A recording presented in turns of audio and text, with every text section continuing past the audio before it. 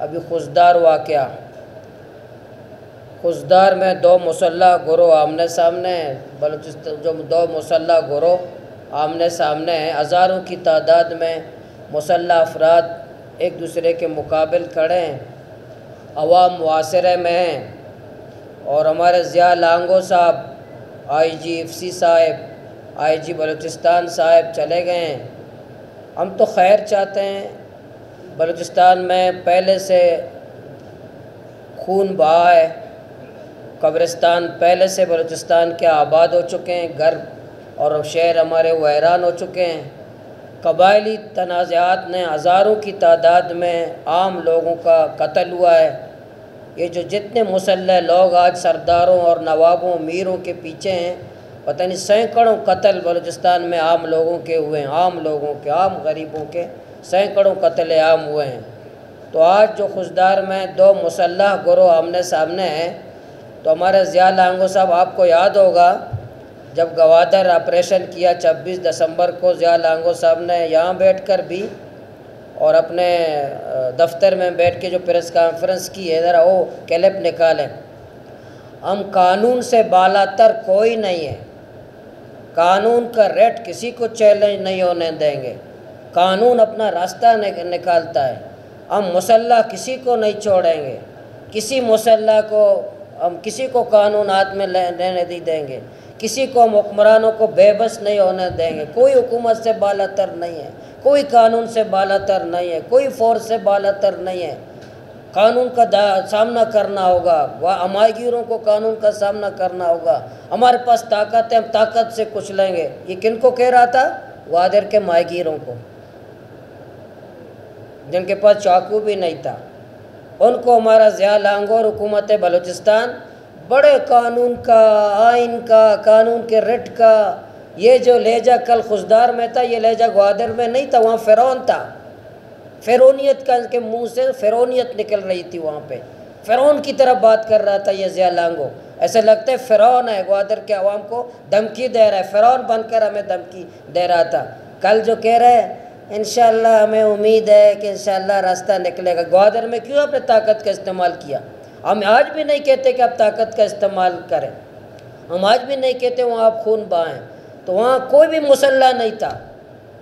पुरमन पानी और बिजली मांग रहे थे और ज़िया लांगो फ़िरौन बनकर उन्होंने ताकत का वहाँ इस्तेमाल किया। हुकूमत बलूचिस्तान फ़िरौन बनकर वहाँ ताकत इस्तेमाल किया। आज खुशदार के लोग मुआसरे में मुसल्ला जत्तों के नरगे में, वट बाज़ार मुसल्ला जत्तों के नरगे में, वट बाज़ार मुआसरे में, वहाँ रोड मुआसरे में, मुसल्ला जत्ते पहाड़ों पर हैं आवाम मुआसरे में।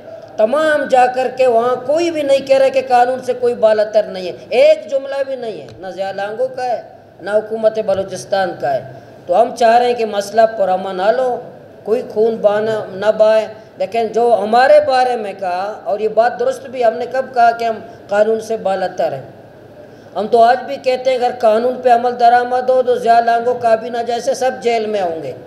हम तो पहले भी कह रहे हैं कि कानून पे अमल दरामद होना चाहिए।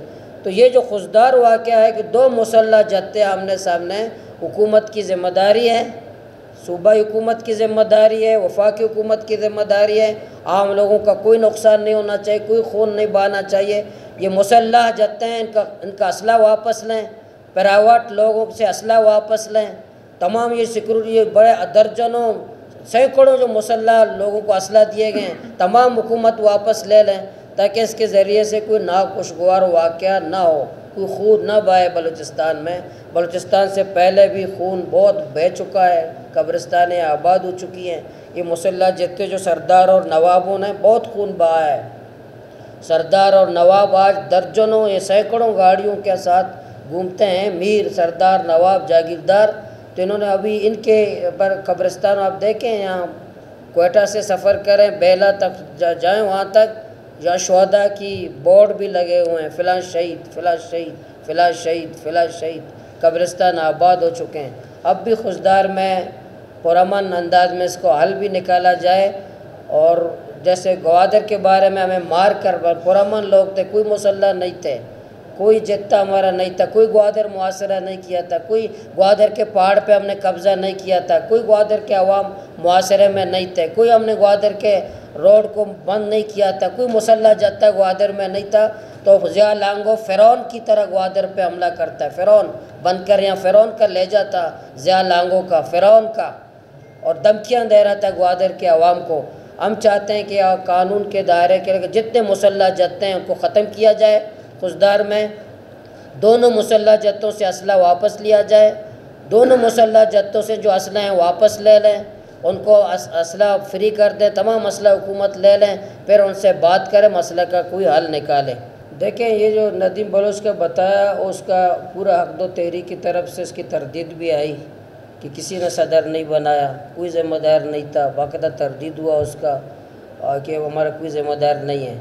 हम दोनों जत्तों के साथ नहीं हैं, दोनों मुसल्ह जत्तों के साथ नहीं हैं। हम दोनों जत्तों की मुखालफत करते हैं। दोनों की वजह से यहाँ अमन ख़राब है, बेसकूनी है, वहाँ टेंशन है, बाज़ार में टेंशन है, लोगों में टेंशन है। हम दोनों जत्तों के ख़िलाफ़ हैं। हम कहते हैं, जो भी बलूचिस्तान में मुसल्ह लोग हैं, सबसे असला वापस ले लें। जो ये जो प्राइवेट मुसल्ह आर्मी रखे हुए हैं सबने आज पहाड़ों पर शहरों को यरगमाल बनाया है। भाई, ग्वादर वालों के पास तो छुरी भी तो नहीं था ना, ज़्यालांगो फ़िर आपके सामने फ़िरौन था ना, कानून अपना रास्ता दिखाता है। ज़्यालांगो के मैं सुन रहा था, वहाँ जेल में सुन रहा था। फ़िरौन ज़िया रियासत के रेड चैलेंज नहीं होने देंगे ज़िया लांगो खुशदार में क्यों बिल्ली बना हुआ है? क्यों उसका कानून हो ये कहाँ जाता है? मैं मैं तो माहीगीर हूँ, मेरे बारे में तो ज़िया लांगो ऐसा फ़िरौन, पता नहीं पहले उस वक़्त होश में नहीं था, अभी होश में है। इस पर तो मुझे पता नहीं, उसका टेस्ट करना चाहिए। बहरहाल ये कि जो हम तो किसी मुसल्ला जत्ते के साथ नहीं है।